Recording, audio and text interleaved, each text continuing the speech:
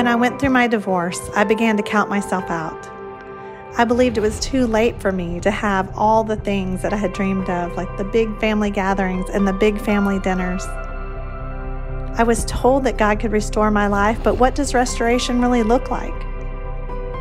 Over the years that followed, God took me on a journey to find my value in Him.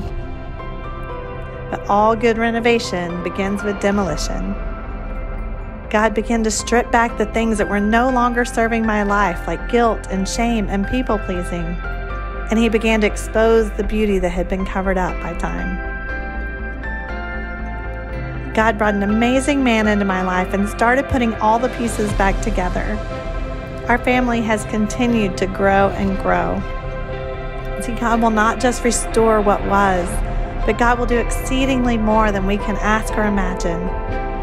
It will take courage to step out and be vulnerable and commitment to keep going. But most of all, it will take faith.